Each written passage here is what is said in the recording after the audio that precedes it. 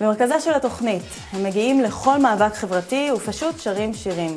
בשייח' ג'ראח, ברמלה לוד ובדהמש נגד פינוי והריסת בתים, במפעל אקרשטיין שבירוחם נגד ניצול עובדים, מול בנייני אקירוב נגד קשרי הון שלטון, באבודיס למען פירוק חומת ההפרדה, בקריה בתל אביב נגד המתקפה הצבאית על משט לעזה. גרילה תרבות, כך הם מכנים את עצמם. מתי שמואלוב, ממייסדי הגרילה, יתארח אצלנו ויסביר איך שירה מקדמת שינוי חברתי. עמוס גבירץ, פעיל חברתי ותיק, יספר על המשך ההתעמרות בבדואים בנגב לצד כתבה גדולה עם חצאי אמיתות שפרסם עיתון מעריב בשבוע החולף. מחסמים לסיכויים, רון גרליץ, מנכ"ל שותף בעמותת סיכוי, יספר על כנס שבו ייחשף מודל חדש למיפוי חסמים מונעי שוויון בין יהודים לערבים בישראל. בפינה יוצאים לשנות נספר על אירועים לשינוי חברתי שיתקיימו בימים הקרובים, וכמובן לא נחמיץ הזדמנויות במהלך המהדורה לשזור דברי ביקורת כלפי התקשורת המרכזית בישראל. אך תחילה לנושאים שעל סדר היום.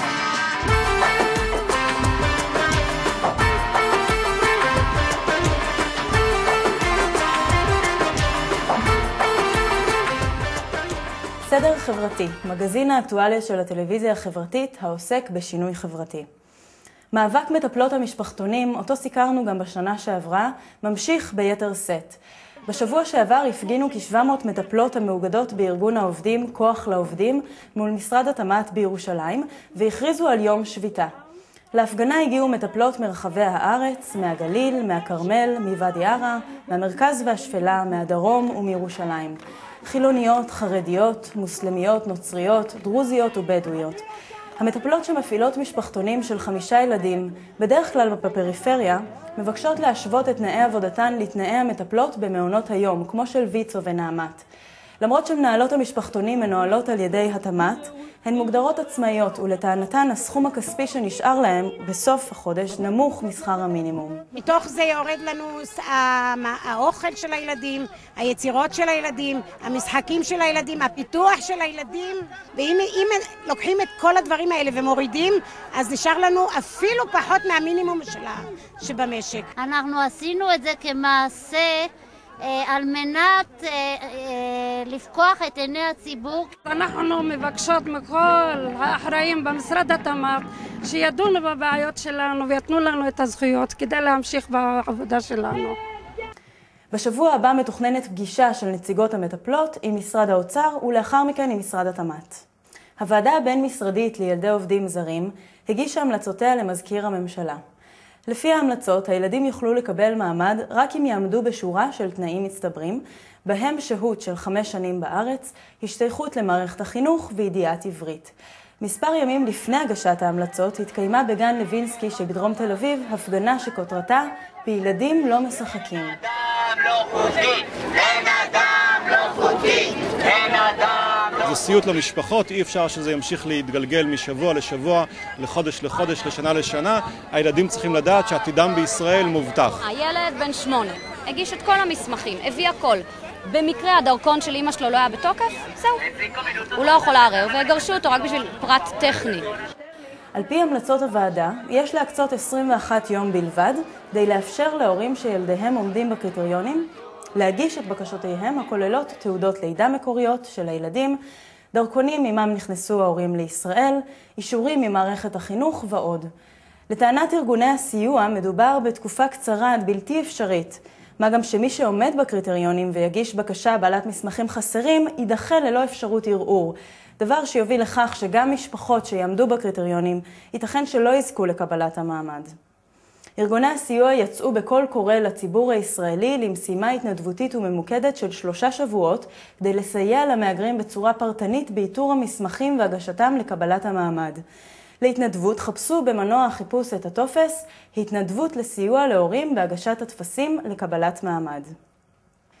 הצעת חוק איסור הטלת חרם שאושרה טרומית בכנסת נועדה להרתיע ישראלים מלקיחת חלק בחרם כלכלי או אקדמי על ישראל. לפי ההצעה, גוף שנפגע מחרם, שמקדמים גם גורמים ישראלים, יוכל לתבוע מיוזמיו או ממעודדיו 30 אלף שקלים, עוד לפני שהוכיח נזק. בתגובה להצעת החוק מופצת בימים אלו עצומה, אשר נוסחה על ידי פעילי שייח' ג'ראח, הקוראת לחרם, וזו לשונה. כמעשה של מרי אזרחי, אנו קוראים לתומכינו ושאר אזרחי ישראל להצטרף לחרם הפלסטיני על מוצרי ההתנחלויות, להחרים חברות הפועלות בשטחים הפלסטינים הכבושים ובמזרח ירושלים, שמרוויחות מהכיבוש, להימנע מהשקעות בהן ומעסקאות עימן ומרכישת מוצריהן. אי ציות מתריס מתחייב לנוכח דיכוי חירות המצפון והביטוי.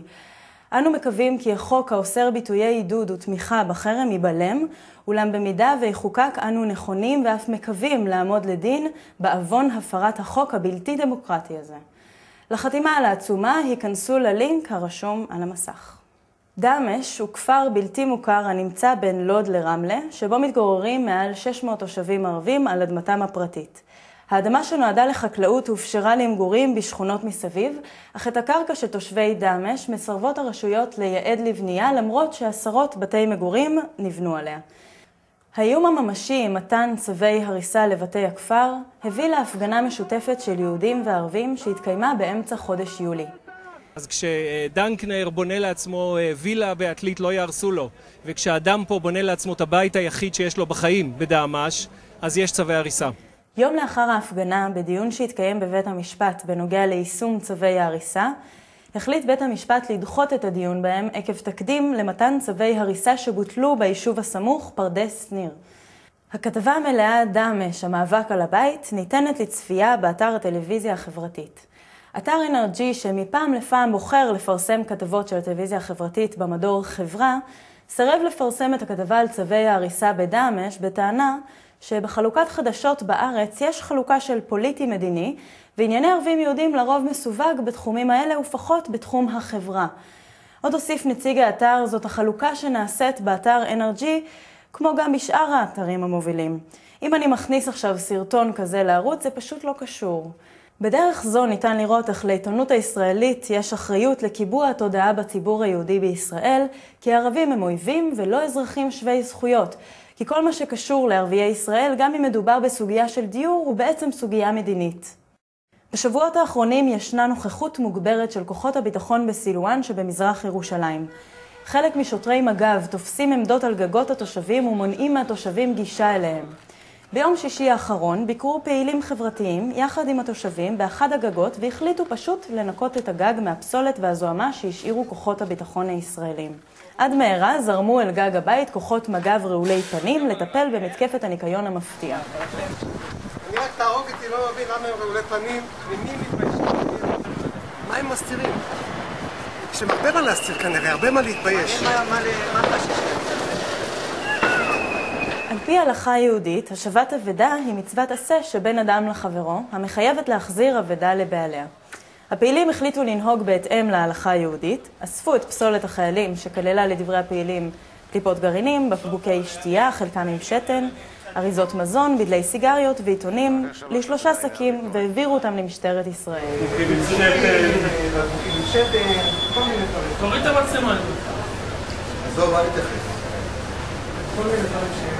המטה למאבק בסחר בנשים, בשיתוף משרד עורכי הדין כבירי נבו קידר, עתרו לבג"ץ בדרישה להביא להפסקת פרסום מודעות הזנות בעיתונים הארץ ומעריב. המאבק במודעות הפרסום לשירותי מין, ליווי ומסאז' בעיתונים נמשך כבר שנים. אנו צופים ברקע בהפגנה שהתקיימה מול בית עיתון הארץ לפני שלוש שנים, אשר סוקרה בהרחבה בטלוויזיה החברתית, מיד עם פרסום דוח הסרסור הנסתר, המציג את העיתונות הישראלית כחוליה בשרשרת הסחר בנשים. בעמודים הקדמיים שלהם הם יטיפו מוסר אה, על זכויות אדם ועל השטחים ועל אה, כדומה, ובעמודים האחוריים הם יעשו קצת כסף, קצת הרבה כסף מסחר בבני אדם.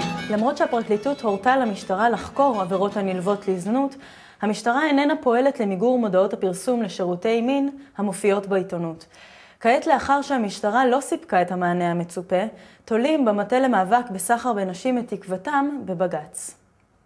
במהדורה הקודמת דיווחנו על התנגדויות שהגישו ארגונים חברתיים ביחס לוועדת טירקל לחקירת אירועי המשט לעזה.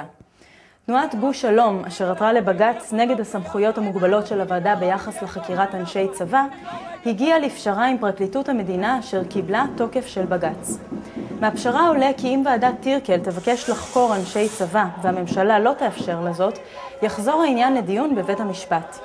מדבריה של השופטת נאור השתמעה בבירור עמדת בית המשפט כי מרגע שהחליטה הממשלה להפוך את ועדת